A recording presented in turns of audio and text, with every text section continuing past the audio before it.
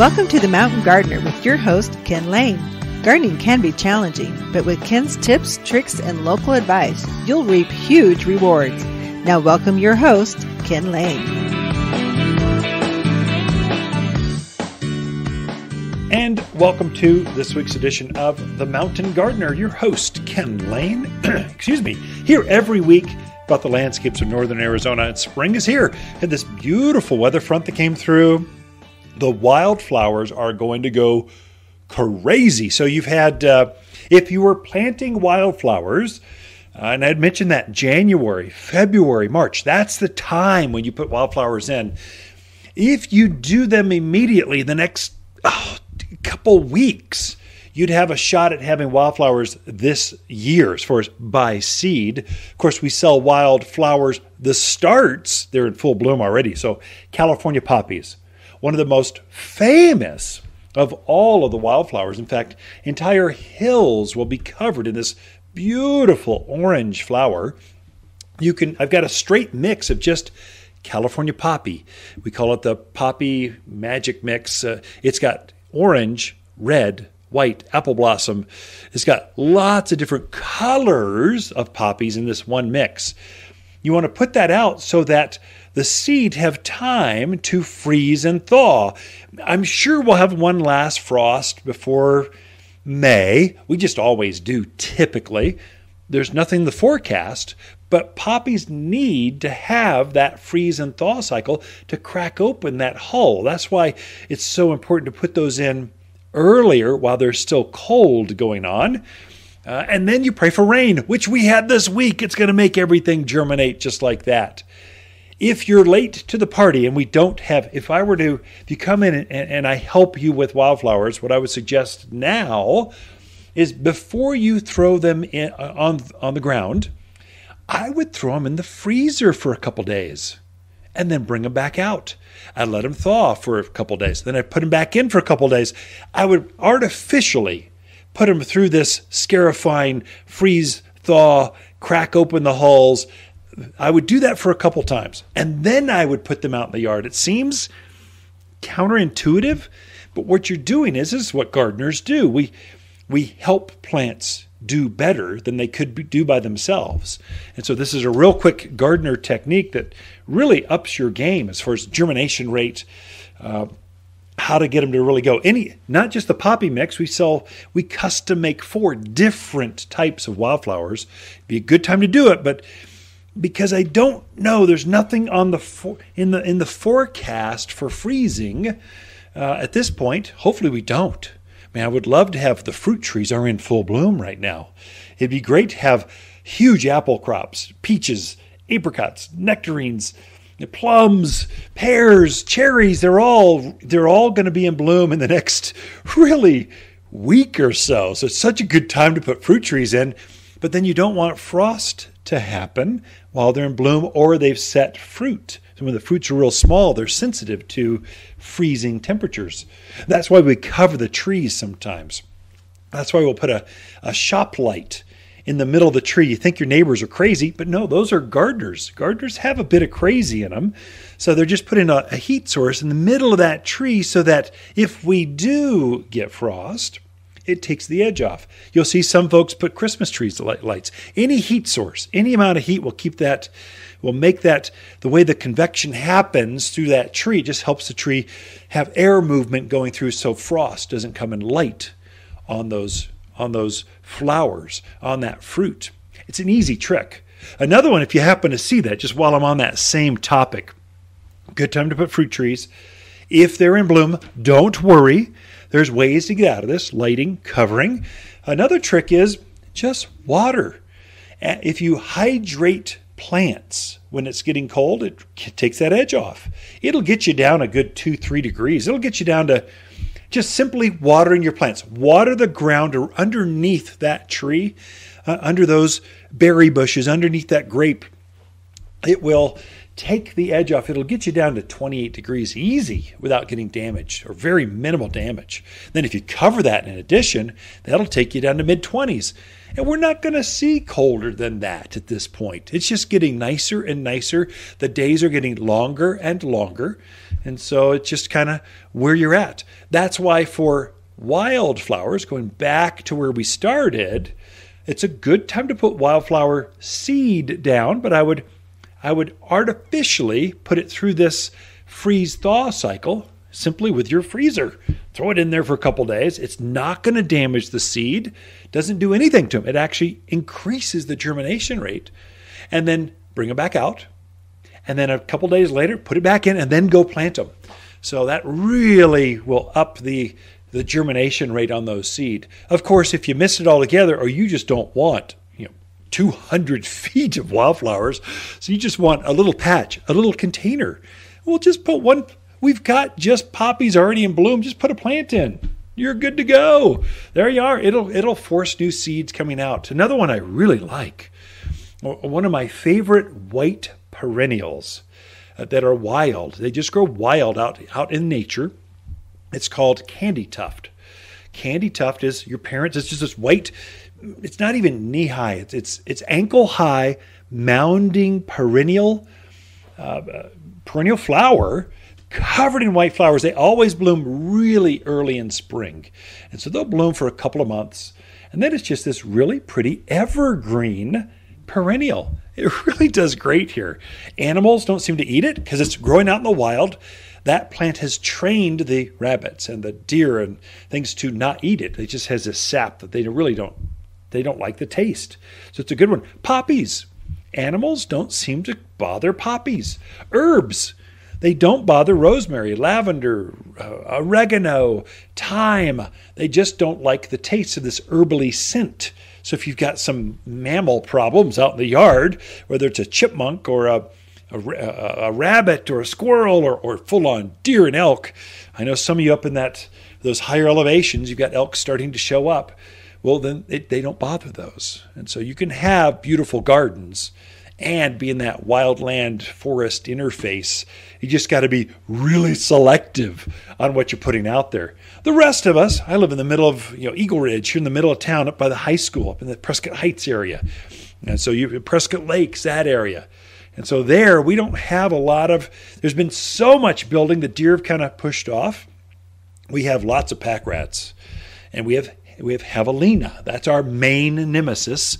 And so they've hit my gardens once this spring already. So I'm starting to go, okay, what can I plant? The javelina won't take snapdragons and dusty millers and uh, California poppies. There's quite a few things. In the backyard, we got it fenced. And so the animals can't get in there, at least javelina. Deer near out. Uh, rabbits sometimes come underneath the fence, but the dogs the fence is there for the dogs more than the the gardens.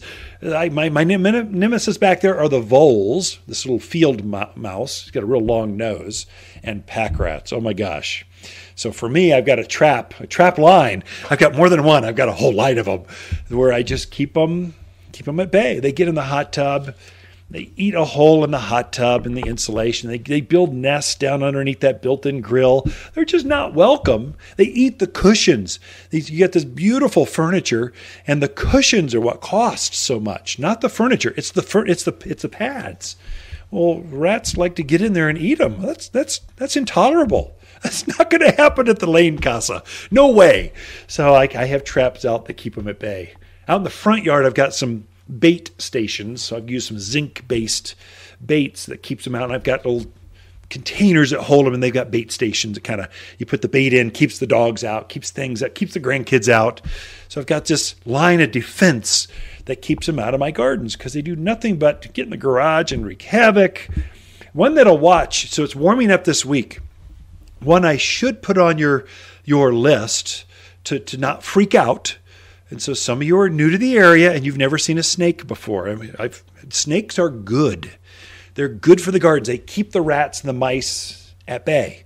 And so they're going to be migrating starting probably this week. So they're coming out of their winter nests. So as soon as the temperature gets warm enough, the ground, it's really soil temperature, they start coming up and they slowly, they can move miles, miles and miles. And so uh, gopher snakes, big long snake, they can get up to six, eight feet long. They are the best snake you've ever had in the gardens. They eat rattlesnakes, gophers, rats. Uh, just don't freak out. Let them rest. They'll move on. Just kind of let them rest there for a minute and they'll kind of move on. We got a lot in store for you. Lisa Watters Lain's coming into the studio right after this with your garden questions. You've been listening to The Mountain Gardener with Ken Lain, owner of Watters Garden Center in Prescott. Join him every week for timely garden advice right for the gardens. Visit Ken where he can be found throughout the week at Watters Garden Center in Prescott. Go native with Watters' locally grown selection of overachievers. Watters' hand selected native plants and cactus are famous for continual blooms, natural beauty, and low care. You can do this. A stunning backyard with less water and even less work, and Watters can help. Go native with Watters' selection of overachieving native plants from Watters Garden Center, 1815 Iron Springs Road in Prescott. Shop Watters native plants in store or online at wattersgardencenter.com. Watters Garden companion plants of the month are lilac, columbine, purple plum, and our Prescott poppies. These silk beauties look delicate, but really one of the toughest bloomers in the gardens. These wildflowers come in vivid colors of orange, red, pink, and white that are ideal for the hard to grow areas in your yard. You're going to love your backyard again. Prescott poppies can only be found at Watters Garden Center, 1815 Iron Springs Road in Prescott. You've been listening to Ken Lain, the mountain gardener. Green thumbs learned while working in the Family Garden Center. Now, welcome back to the Mountain Gardener. Okay, we are back with Lisa Watters Lain in the studio. Oops, I forgot all my. I got my apron. I got my pens. I should look better than this for radio. Lisa comes with your garden questions. So Mhm. uh, sometimes we start. We forg- we don't even know where we're going yet. So, but, but the microphone says we're going. So here Oh, we go. That's good. Hopefully, Yeah. both are going. Okay. Yeah, Q and A. Q and A. It's what are Q and people are asking about. Yes. Garden Center's been busy. We should tell folks. So there's this rumor that business is really hard, and that uh, you want to, you, you, like it's hard to get employees. It's hard to Ah. make. But I got to tell you, if you treat people well, you, you pay you pay fair market, and it's a fun place to work. We've had no problems getting No. staff that are really crazy smart. Like we Mhm. just upped our game. We're better than ever. Our crew is good, but more people. I got to be careful. I could just do nothing but go down. Yeah, just end up with a big old foot in We had a record March, record like, I mean, this is the third year in a row, right? Mhm. So I'm encouraged from a business standpoint from gardening. Gardening is popular again. It's so nice, exciting. isn't it? It They're not traveling, so They're not. We were always competing with cruise ships, Yeah, not Walmart or Amazon. We're competing with cruise ships. So we Watters Garden, independent garden centers. Mhm. And so people are starting to travel again, but they're gardening. They found out the therapeutic. It The just felt better about gardening. Sure, sure. Plus, lots of new people in town that Plus, need new landscapes. The garden class was like everyone was new. So Mhm. okay, let's see how many people this year first season. Everyone except for like five. So Yeah. it's kind of exciting to see lots of new faces. Yeah. So anyway. So, questions. Okay.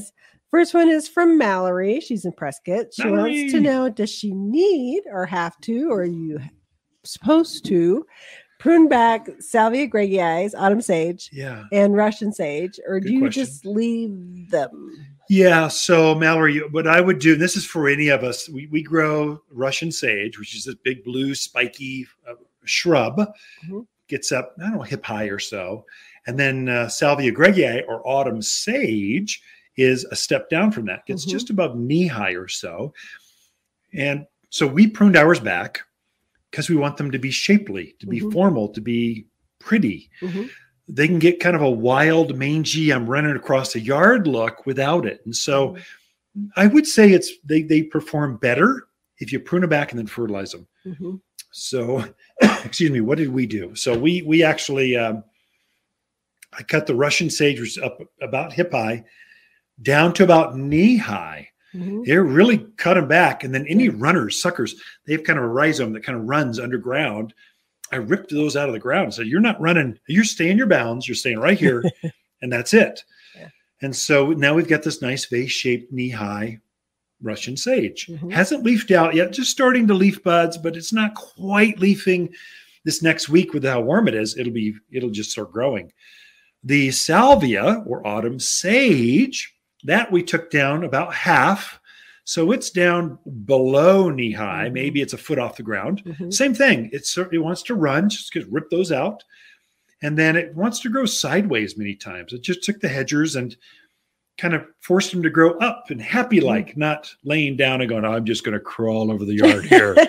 I want them to be perky and sparky and and and Just and the you. hummingbirds, kind of like me. Yeah, that's kind of what you're attracted to me about. Yeah, that's true. Perky, I'm the perky man. Perky. That sounds bad on the airwaves. but anyway, that's how you do it. Fertilize them with the all-purpose plant food, that 744 Mhm. uh, granular food that's got cottonseed meal, which makes them bloom. Then it's got some bird guano in it, which makes them leaf out like right now. If you were to sprinkle that on there by well, by May 1, they'll be in full glorious bloom Mhm. and they won't stop until uh, I don't know Fall. after Halloween. Yeah, let's go into October, November. Mhm. Yeah, so Yeah, that's how you do it, Mallory. Hopefully that Okay, helps. Come in so- and take a picture. We could show you more. If that helps you more, if that didn't quite, the words didn't. Sometimes I don't describe where the airwaves like I want to. Come take a picture. We can show you. So Mallory, the short answer is yes. yeah. Okay. Yeah. Sorry. Prune Yeah. back your sage. Yeah. okay. Next one is from Jay. He wants to know what is the best way to handle aphids? They're out there on ornamental kale and Yeah. broccoli starts. So we had we had I was in the backyard with our containers. We've got Mhm. aphids back there. I'm going, what is wrong? There was one that was collapsing. Going, what the heck is going on? You take a close look. Aphids are covered over this Mhm. thing. So aphids deserve to die. You should kill them. What the book, what you if you Google it, they go, oh, just stream it with a strong stream of water. They'll go away. That's not true. They'll come right back within the next that afternoon and be right back at you. Spray if you're going to spray something, spray a death spray, not just a strong stream of water. And what I did, I used triple action. Yeah. There's an organic neem oil. You organic gardeners, you N E E M neem is what's in triple action. Mhm. Spray that, kind of spritz it, especially for things like broccoli. Mhm. It's edible. So your edibles, you want to use organics. You want to use organics no matter what, whenever you can. But aphids are easy to take out. Just spritz it and they'll be gone just like that. You might follow up in like 10, seven, 10 days, do it again because aphids come at you so heavy that it's hard to kill them all. So you come Mhm. right back again. That, that, that triple action will kill off the eggs and the aphids, and a couple spritz should should do you. Way to go! You can spray that up to the day of harvest. Right. thing I've noticed with the triple action, what I recommend people do is once you spray it, wait three to four days or so, then kind of hose the plant down because Yeah, the way triple action works, the the carcasses, the bodies, yeah.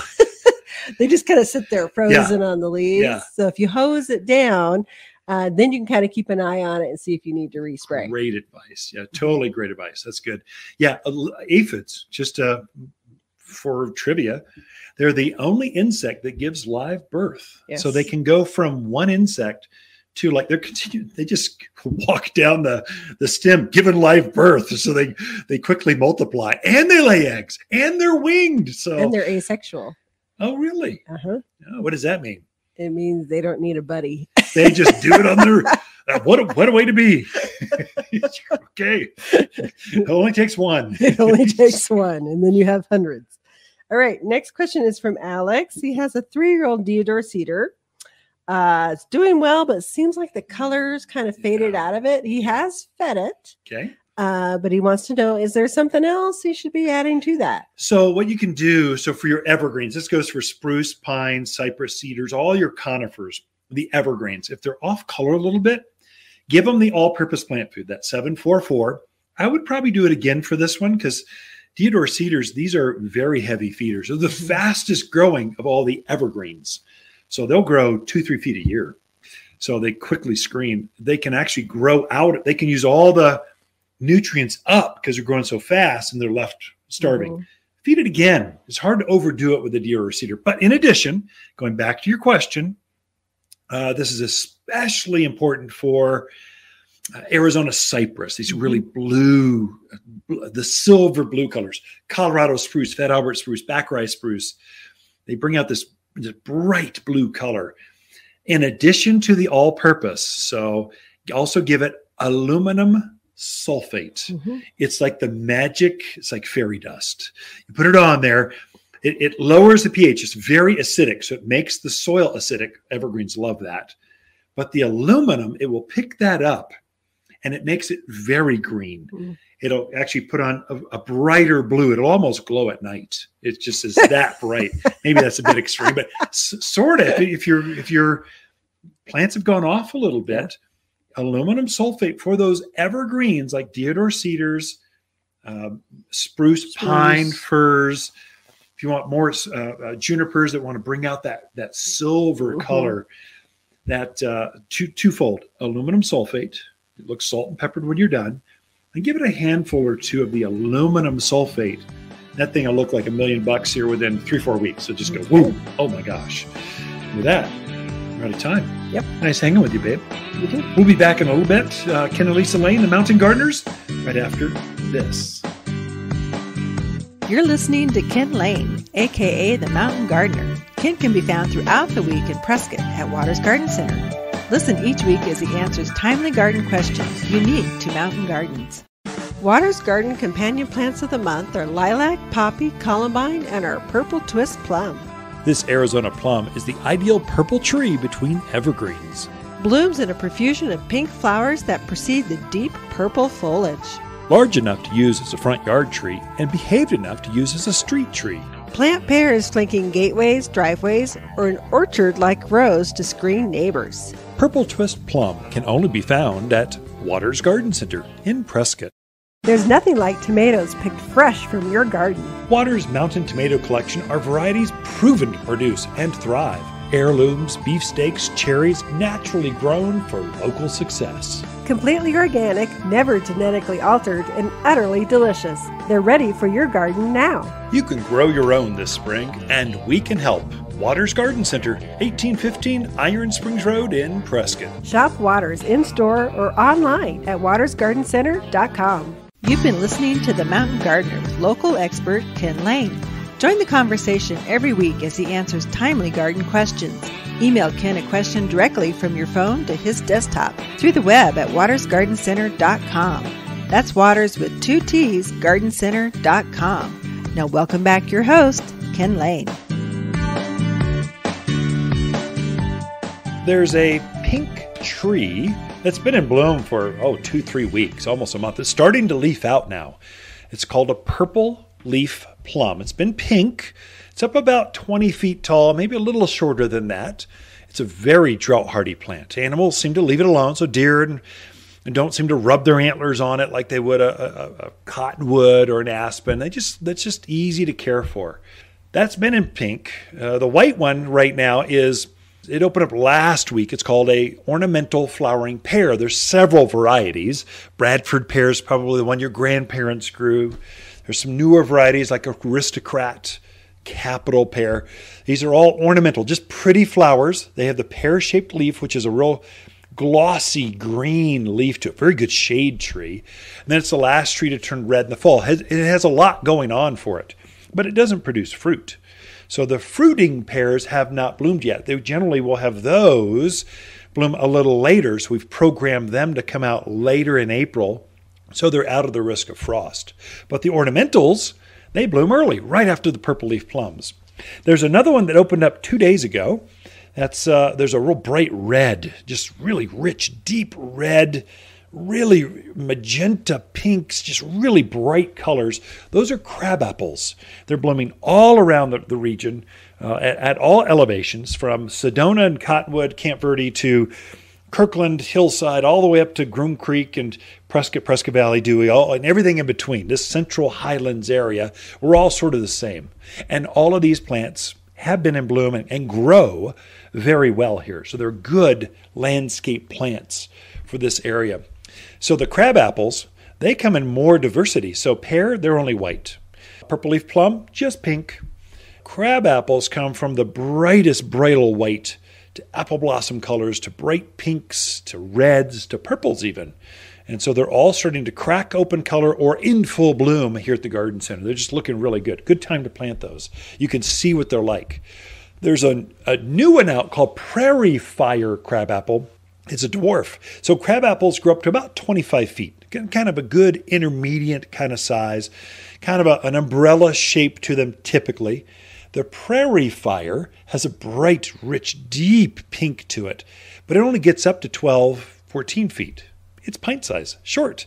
They don't form crab apples like your parents or grandparents had. They, they, my grandparents always had crab apple jellies. They'd go out and pick these little miniature apples and they'd make preserves out of them. Really good. Actually, my mouth just watered thinking about it. Oh, childhood is so great. Crab apples, ornamental ones, they can put on a dime size fruit or smaller. Uh, and typically the birds will eat them before they actually drop. Or do, they're not messy at all. They're just pretty, bright orange colors, typically in fall. Great shade tree in the summer. Bright, intense colors, flowers in the spring. There's another one that's just starting to go. I was out in Prescott Valley yesterday, and uh, there the the red buds are starting to bloom. They're the kind of the the fourth in the wave of color that starts to come. It kind of crescendos in in about Mother's Day with the purple robe locust. It's this big tree 35 40 feet tall big shade tree with these wisteria purple wisteria to, to light pink colored flowers that dangle down there's just this wave of different trees that bloom and kind of announce spring. It's a, it's a progression. And so when they're done blooming, they'll typically start leafing. And so they can have many colors of the foliage. So, so the golden locust has golden new growth, that's the name. And then it matures to a, to a green kind of big, it's a big shade tree, 40 feet tall, minimum 30 to 40 feet tall. So it's not the size of a cottonwood or a sycamore. These are 70, 80 foot tall. These are monsters, too big for a lot of yards. But a, a golden locust, a purple robe locust, remember that had that blue flower that dangles down. You folks out in the valley areas, Paulden Chino Valley, you're famous for your locust trees. They they got smaller leaves. They don't get beat up by the wind as easy. They're just pretty consistent, low water, low care kind of trees. Right now, the red buds, that's another native. That's, there's a wild variety called a Mexican or Western red bud. It's short, yeah, maybe maybe 10 feet tall, kind of typically a big shrub. Uh, maybe it could get a little bit taller than that if it's really old.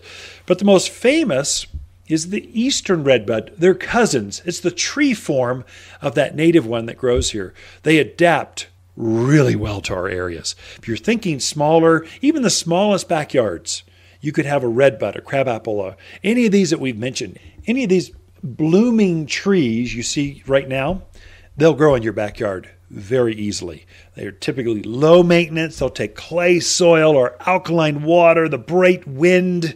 It just takes all of our environment and they adapt and thrive for decades to come. So pick your favorite color and then pick what size do I want. And that's where we can help you. I want to shade my back patio. I want to shade the west side of my wall. I want an accent tree out in my front yard. We can help guide you into the right size of tree, and then you can pick the color. I would say start with the color, and then we'll get you the right size. So that's important. Trees are where you really want to focus your energy, time, and landscape dollars on because a pretty tree stays prettier, gets more beautiful. An ugly tree, just gets uglier with age. So pick the right ones. You want to hand pick those for your yard. The Mountain Gardener, your source for timely garden advice right for higher elevations. Guaranteed to make a difference in your yard this season. Gee, my flowers just bloom too much. Said no one, ever. Hi, this is Kenneth Watters. We had a crazy winter and everyone's ready for flowers in the garden. Watters Flower Power is made specifically for Arizona that gives flowers that extra boost to burst into bloom. It's an energy kick in the plants. Get ready for roses that rule, peppers that pop, and tomatoes that triumph. More power to the flowers with Flower Power at Watters Garden Center in Prescott. Growing up in Prescott, we knew spring was here when my grandmother's lilacs bloomed. I'm Lisa Watters Lain, and my grandma would be thrilled with the new Bloomerang Pink Perfume Lilacs at Watters Garden Center. New pink blooms fill the landscape with fragrance of grandma over and over again in the garden. Mine bloomed three times last year, making spring last well into fall, all for under $25. Lilacs like grandma used to grow, and better. Watters Garden Center, 1815 Iron Springs Road in Prescott. You're listening to The Mountain Gardener with local expert Ken Lain. Mountain gardening is very rewarding, with a few Ken's tips, tricks, and garden shortcuts sure to turn your thumbs even greener. Now, welcome back to The Mountain Gardener.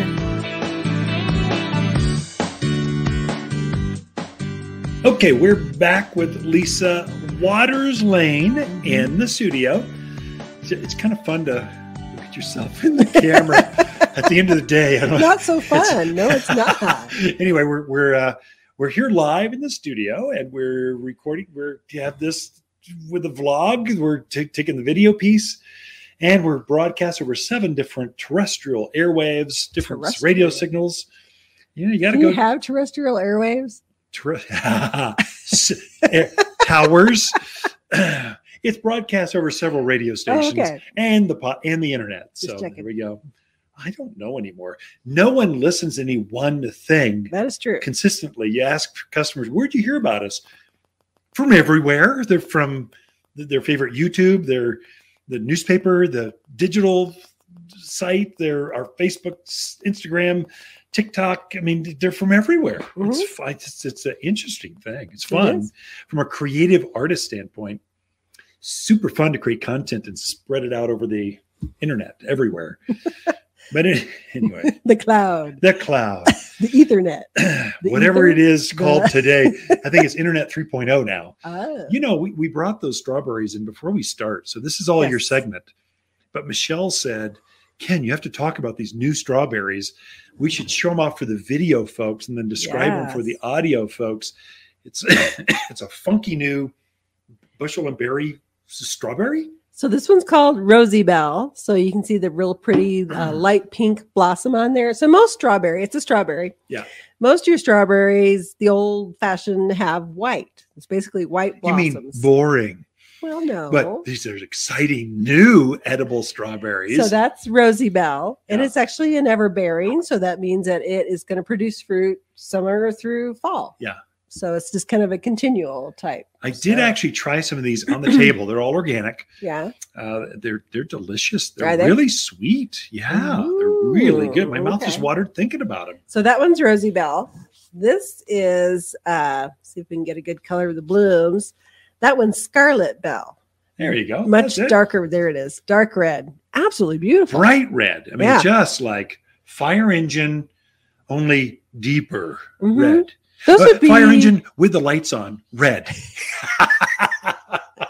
so I was thinking they'd be really pretty in a pot if you had a large pot. yeah, uh, maybe you got a little shrub or something in the middle, but the strawberries would be really pretty along the edge and just because they kind of drape down do. and fill in. So, and those colors are so dynamic and they would just keep blooming all season long. you know, I, I tell folks, you know, I need a ground cover, Mm, uh, and so I, I, we don't think about edibles so many times. Uh, They're they're a great ground cover. Oh, yeah. Oregano, great ground cover. Oregano, Uh, we always thyme. think junipers and cotoneasters, but mhm. strawberries and thyme and oregano, Mint. great. Yeah, All of those would weed. do really well. yeah. Definitely. So, yeah, think outside the box when you're thinking ground covers. Think outside the the pot. Like, well, I can't say pot over the airwaves anymore. Uh, You'll get, Flat- yeah, The Facebook will tag you going, you can't talk about pot.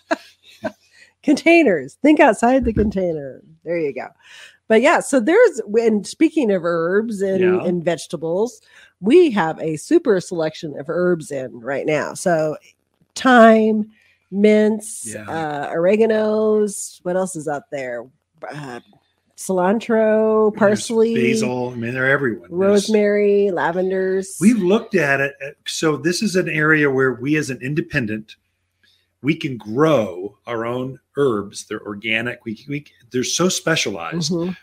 and you don't sell a ton of them.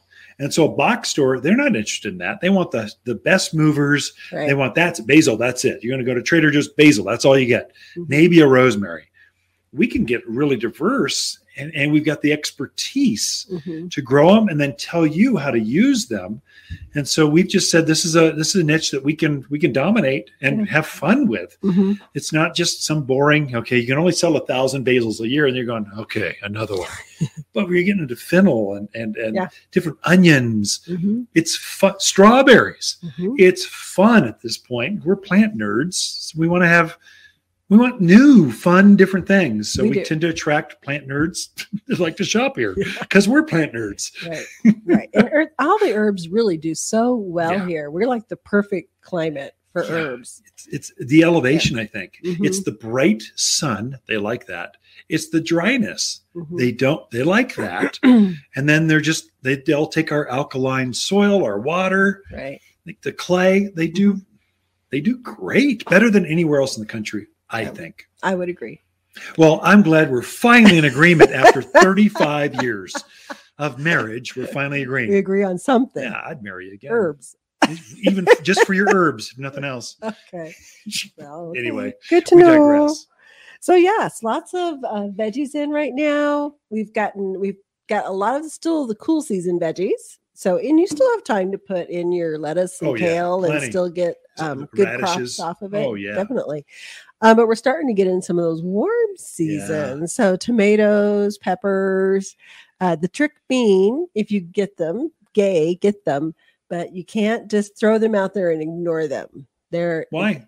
well, because we are going to get some more cold. Well, you're talking to. Groom Creek, but or Highland Pines, but uh, Dewey probably isn't. Cottonwood Mm. isn't. They're coming over for their True. Costco run, and we see them. Kingman will come down to the VA, Mhm. and they'll stop by. So it depends on what the elevation that you're at. So we're catering to a lot of different elevations. But are. yeah, they don't like to go below 40 degrees. Let's say a tomato or basil or Mhm. cucumbers, peppers. We've got all those.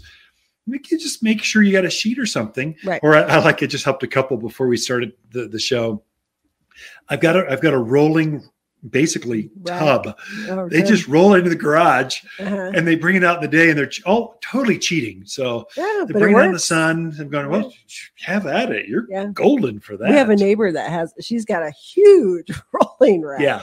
and she rolls it in, uh, you know, but she loves doing that. That's her thing. I'm- so, yes, you can certainly get your tomatoes and peppers and all that things now, but, but some some of them too um so, so our so how do you explain this to newcomers I don't know. so the nights are really cool Right. and so you do want to get a jump start with a Mhm. few of your summer plants even though we might see some a cold snap just be ready Mhm. but if you wait until mother's day or in memorial day we cool down so much they don't they don't grow as fast as they do let's say in Mhm. Minnesota.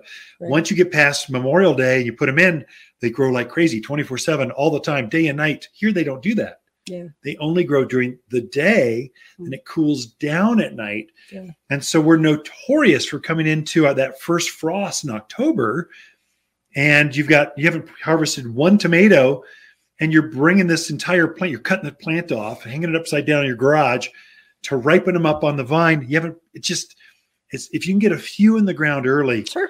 It's going to help you. Plus, there's that bragging right with Mhm. with gardeners. You know, You know what we do have, which What? would help customers immensely, is the wall of waters. yeah, ch- game So it's, it's like a little oh yeah, mini greenhouse kind of thing Yeah. almost that goes around the plant.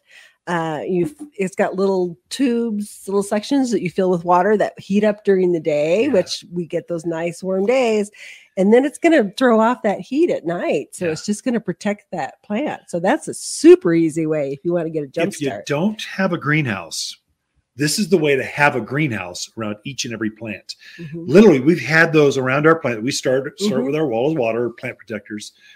Come in and see us. We can we can show you how to how to use them. Mhm. You buy them once; they're good for ten years. They Yeah, last, a long time. time. Uh, but literally, we've had tomatoes growing out of the top of those. They'd stand about three feet tall, and it snowed, and it didn't affect them. It was great. It It was awesome. off This is a much true test. Yeah, It throws off that heat. yeah. The most important thing is it warms the soil up, Mhm. so the plant starts growing actively faster into the season. So you get a Right. bigger plant faster into. It's like a greenhouse. Around each and individual plant. Mhm. Plant protectors are a great way to start. It's cheating. It's literally cheating in gardening. Right. You kind of start that way rather than just chuck them out in the ground. But it's okay to cheat in gardening, you know what? but not I, cards. I think it's good to have an advantage, but cheating's not good to say over the airwaves. that's, that's it's never fair to cheat, but have an advantage you can cheat with over your, fellow gardener. Yeah. so anyway, anything? Any last thing you Well, got? So you know, we didn't cover anything that I was going to talk about. So okay. maybe that'll have to wait till next week. But I was going to talk about crab apples, which are blooming Oh, around yeah. town and are Yeah. spectacular. So, So next week. I kind of I'll mention them here. The next I mentioned them somewhat. Oh, okay. So so we touched on them. I would have gone. I would love next week. We'll go into depth. How about Mhm. that? Yeah. Just kind of go after it. So Okay. Ken and Lisa Lain, the Mountain Gardeners, be back right after this.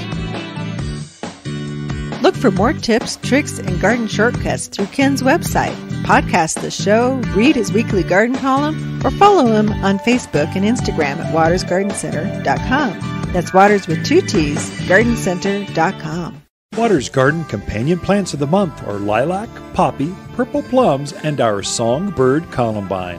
This graceful beauty dances in the shade of the garden, holding its head high, smiling back at you. This bloomer comes back each spring with lacy green foliage, promptly followed by amazing two tone flowers. An excellent cut flower that is both deer and rabbit resistant. So hardy, some varieties naturally call Arizona home. Songbird columbine can only be found at Watters Garden Center in Prescott. Go native with Watters' locally grown selection of overachievers. Watters hand selected native plants and cactus are famous for continual blooms, natural beauty, and low care. You can do this. A stunning backyard with less water and even less work. And Watters can help. Go native with Watters' selection of overachieving native plants from Watters Garden Center, 1815 Iron Springs Road in Prescott. Shop Watters native plants in store or online at wattersgardencenter.com. Welcome to the Mountain Gardener with Ken Lain. Gardening in the mountains is different. Listen to Ken's tips, tricks, and garden shortcuts guaranteed to make your gardens more beautiful than ever this year. Now, for better advice that works locally, welcome your host, Ken Lain.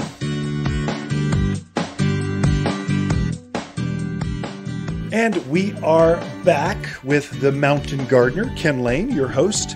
And the beauty of having a studio right here at Garden Center is when someone really smart shows up at your garden center. Go, hey, Steve, that's super interesting. We should share that with listeners. And Steve is with Bailey Nursery, Steve Carlson. He's the sales rep for Bailey Nursery. This is one of the premier tree and shrub grower in the country. Very new products coming out, but I really appreciate your fruit trees. You are coming out with these multi-trunked, multi-varieted cocktail kind of trees. You were explaining it so casually across the street to the staff that Steve, you you should share that with listeners. They they want to know that kind of stuff. So welcome to the studio, Steve. Well, thanks, Ken. It's Yeah. good to be here. Hey, you bet. So, how did you tell us first about yourself? How long you been in the industry? How'd you get into this? How how'd you become such a smart tree guy? Well, started at uh, Michigan State in the horticulture department and graduated there, moved to Colorado and started my career in garden centers. Moved on to a grower position at a local wholesale grower. Been there for went oh, I was 16 years there, and then Okay. I moved on to a national company, um, who currently is Bailey Nurseries. Uh, national con- uh, company has three large locations throughout the com- country: uh, Oregon, Minnesota, and Illinois. Okay. And we supply the entire country uh, along with Canada and do shipping into Europe. Yeah. Well, I didn't know Europe. Wow, amazing. Yeah, yeah. I didn't know Bailey's was that big. Oh, yeah. I know in the western half of the U.S., Yeah. it's a big deal. Bailey Nursery, Mm-hmm. as far as premier growers of the better plants, Right. your name is at the top. Yeah. So And we've, we've worked hard to get ourselves there, and we, we work hard to maintain that. Now, explain to, to listeners what so fruit trees. What what should they be looking at at fruit trees, and why should they get a uh, triple play, let's say, or or your braided or grafted types of trees? What are the benefits, and and how'd you come up with that? Well, as uh, people wanted to put more in their yard or had smaller yards, and they still wanted to have fruit trees, we looked at well, how can we put uh, multiple fruit trees, which would help cross pollinate, in a smaller space. And two ways we're going about this is one we call hat trick and one we call triple play. And with triple play is we take three different apple trees and put them in the same container. So you have three separate trees growing in there. And they will grow together um, in that fashion and pollinate each other, um, produce fruit in a much smaller space. Um, turned out very, very successful in doing that. That's a top seller for us here at the Garden Center. Yeah. So here at Watters, he- and, and they perform really well. The beauty is one variety will ripen, and then the next variety it, it ripens in a s- sequence. uh, Right. Uh, so you're not bombarded by 20 bushels of apples. Right. You can get this bushel, and that bushel, and this bushel. Right. Takes the pressure off of, processing that many apples. Sure, sure it does, and so that's, that that helps out a lot with with everybody. And you could, at some point in time, they're all harvesting at the same time, Yeah. so you can go pick. Yeah. If you wanted this, you know, a Cortland apple versus a Honeycrisp, you could go and just grab the one you wanted. So, what do you have a favorite apple that you like personally? Um, the the one I probably like the most is a Jonathan. Okay, yeah, that's Um, interesting. It's a cooking apple, but it's also a, you could use it as an eating apple. It's a little bit more tart, but it's a, a definitely a very tasty So apple. you like tart fruits? Yes, I do. I like more. Gala myself. Yeah, okay. Just melts in your mouth. Makes the best leathers. Mm-hmm. Oh my goodness, best uh, apple jams and butters. Oh my gosh, my mouth's watering just thinking about it. It's just such a good one, Yeah. and it can be an eating apple too. Right, right. So um, the other one we do is the um, uh, hat trick, and that's where you have a tr- uh, an apple tree um, that is grown up as a single trunk, and then maybe two feet up off the ground we'll graft on a Honeycrisp apple, and then we'll go up another foot and we'll graft a Cortland apple, and maybe then another foot and we'll put on another apple. So you have anywhere from three to four different apples at different heights on the tree. And they have to be espaliered, so they'll have to stay on that in order to stand up and be good. But then again, it's for a small space. You get multiple apples, and they kind of come on at different times of the year, uh, but they self pollinate each other still. So now describe espalier. So some listeners Okay. may know what that is, some may not. Okay. Then how do you design or, or plant that into your landscape? Um, okay, well, what it is, espaliered is you have a trellis that the plant is growing on. Yeah. And so it, it's a wooden trellis in most cases that helps support the tree. So when you get it in the container, which would come from you, um, it already has a small espalier uh, on, trellis on it. Uh, as the tree grows, you will probably have to gr- increase the size of that so that it's a little more sturdy and hold the plant up. But you would plant the whole thing together as one unit when you put it in the ground. Gotcha. I think of it as two dimensional. So it's it's like a it's like a wall, Yes. a trellis. Mm-hmm. And so it's you can put it next to a patio, Right. Block the wind, Mhm. get the shade, and yet you can have fruits on it. it. It's very pretty. They have the fruit trees, the apples dangling from that. Mm-hmm. And so I find eventually they hold the fence up. You put them down fence lines. Sure. Um, that, that's kind of how you use that. Now, on the outer edge of gardens, flower gardens or vegetable gardens. Mhm. Uh, so instead of grapes, you're doing espaliered apples. Apples, right. Yeah. Right. So it has many uses uh, in that form that you could get it into a, a landscape and and having it on a patio. I hadn't thought about that. Yeah, but in a pot, just a 'cause pot that's a smaller- patio, that is a great Yeah, way yeah. of doing it. I've got a peach, a big peach. It's got to have a trunk on it. It's got to be six inches circumference. Mm-hmm. Produces every year, Yep. and it shades the hot tub on the Okay. Mm-hmm. patio. And so I just cut it back. I don't let it get too big. Mhm. Every summer, I just cut it back. Right. Makes it looks beautiful. Beautiful, right. Beautiful. So, what other garden tips can you give from Bailey's, your garden perspective that listeners would uh, could take away? Um, well, to you know, take a when you go out to to garden or, or set up a flower bed or a garden, just make sure you look at the space you have, so you know what size plants to go get, and don't look at the plant that you buy in the store, but look on the tag and see Yeah. how big that plant's going to get, Right. so that you don't overcrowd and just create a something that More would- maintenance than you, more, more than you need. Yeah. Yeah. And it just won't look good down the road. So always really get a good idea for the space you're going to plant. We are starting to bring in more of your smaller trees. That is Mm-hmm. like a street tree or in between the property lines kind of tree. So Mm-hmm. Right. real narrow birches, uh, narrow the, your uh, merlot, Yeah. red buds, uh, smaller Yeah. trees Right. that will not overtake their space and easy to plant, easy to maintain. Right.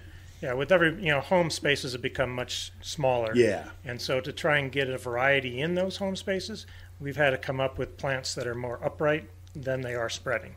And those, those, you know, the Parkland pillared birch is a very good example of that. Um, the uh, gladiator crabapple, a good example of that. All of those fit those bills and create some good character for your yard.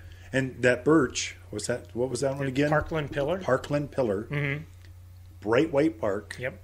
tight. I mean, Yep. maybe six feet wide, something like that. Well, five, Five- four, five- to, four to four five, five? foot wide. Yeah. And then it grows Maybe 10, 20 15, 20 foot tall. 20 foot tall. Yeah. Gotcha. Yeah, and you don't have to do any pruning or any help, any keep up on it. It just grows in that fashion on its own. Yeah.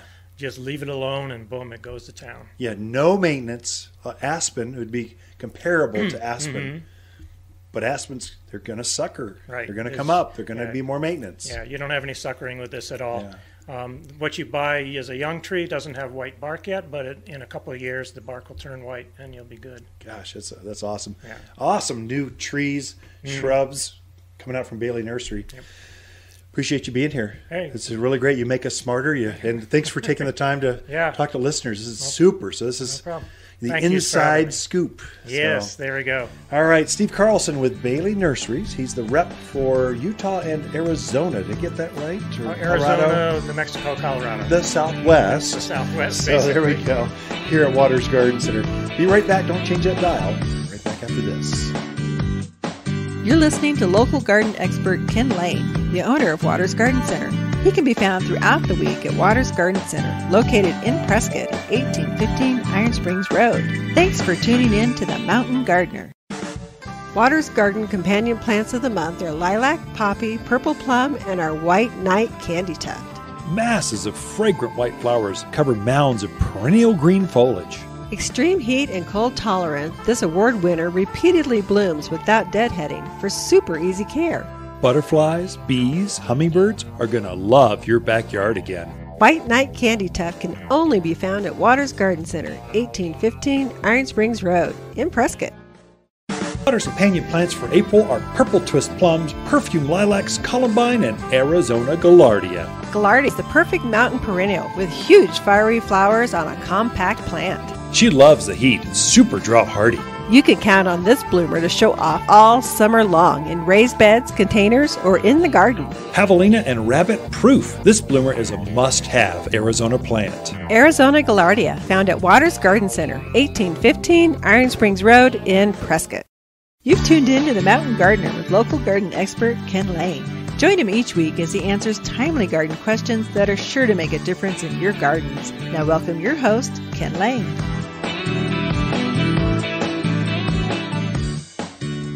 So, if you want a really fun, I mean, really fun garden class next Friday, we're offering a free garden class. It's at 3 o'clock in the afternoon on Friday, and it's uh, lilacs. What are the best varieties of lilacs and other blooming plants of spring? So, fragrance.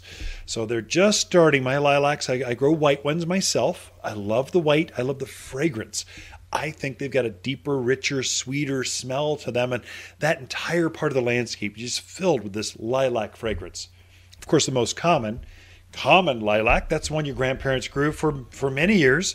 But there's so many more choices. New dwarf varieties. We'll go over all of that. But come, come.